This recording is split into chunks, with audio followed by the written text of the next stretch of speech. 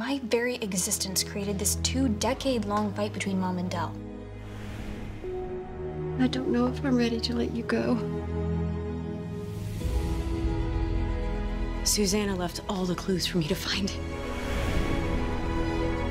What if that meant that others could time travel? This is why the pawn kept sending me back. The Way Home on Hallmark.